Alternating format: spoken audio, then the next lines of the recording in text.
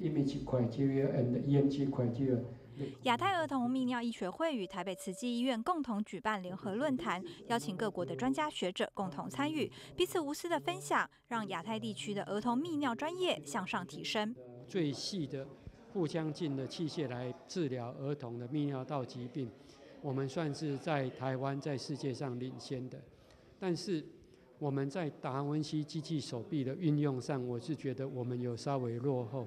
他们在这方面有一些不同的运用，那我们可不可以取来为借鉴？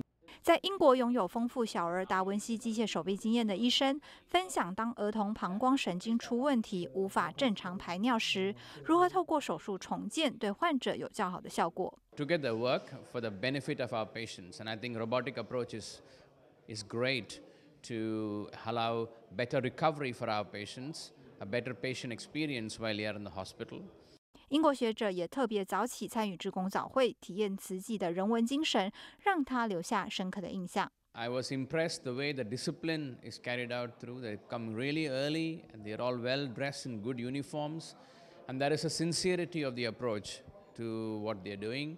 两天的研讨会，专家们分享案例，进行讨论，为小人泌尿治疗开启不同的视野，在彼此的交流下，造福更多因病所苦的儿童。大新闻黄线张振龙，台北新鲜报道。